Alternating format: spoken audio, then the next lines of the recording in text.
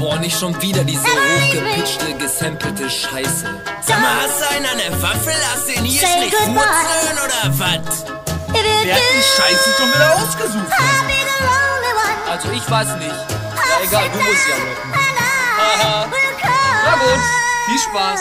Oh Bärchen, ich lieb dich, mein Hase, mein Schatz, ich steh zu dir, auch wenn du ein paar Arschhaare hast, deine Fotze zu lecken, McDonalds Toiletten von innen betrachten und trotzdem nicht sprechen, egal, ich bleib hart und ich postexel dich, ich hab dich auf den Grab deines Opas gefickt, Syphilis, HIV, Tripper und Pilz, Klitoris, haarig, verpickelt und gelb. Ich steh auf dicke Frauen mit Tippen und fick dich auch, wenn es stinkt wie du nach Wurstbrot und Kippen. Ich nehm dich so, wie du bist, dich und deine Hasen. Scharte Nase und Warzen haben schwarze Schambehaarung, Darmbart und Nasenhaare. Und du trinkst jeden unterm Tisch und hast so gut wie mit jedem meiner Kollegen schon gefickt. Und auch wenn du aussiehst wie ein fleischgewonnenes Faltengebirge, frag ich dich lieber heute als morgen, ob du mich heiraten würdest.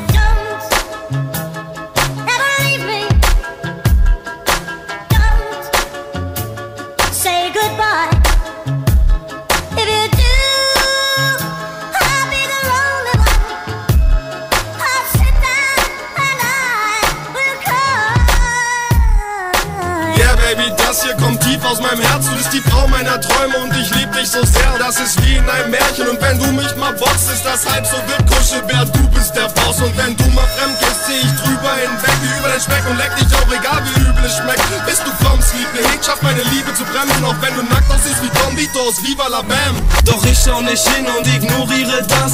Du anstatt Läusen ein Flohzirkus hast. Du bist mein Nilpferd, mein Rhino, mein Licht. Und Ich liebe dich nicht, aber mehr als mich selbst. Ich will dich, auch wenn du mir nicht wirklich gefällst. Deine Zähne sind schwarz, deine Locken verfilzt. Doch ich heirate dich, weil mich sonst keine will.